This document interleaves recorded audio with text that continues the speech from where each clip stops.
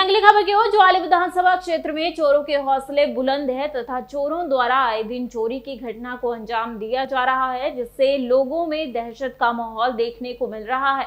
शुक्रवार रात्रि को चोरों ने भरपाड़ बस, भरमाड़ बस अड्डे के समीप व रेलवे स्टेशन भरमाड़ के पास दुकानों में चोरी की घटना को अंजाम दिया और प्राप्त जानकारी के अनुसार पंकज कैफ़े भरमाड़ नज़दीक रेलवे स्टेशन के मालिक जगरूप सिंह ने बताया कि मुझे सुरजीत सिंह का सुबह सवा पाँच बजे फ़ोन आया कि आपकी दुकान का ताला टूटा हुआ है। जब मौके पर पहुँचा तो देखा कि दुकान का ताला टूटा हुआ था और शटर लगभग दो फुट ऊँचा ऊपर उठा हुआ था।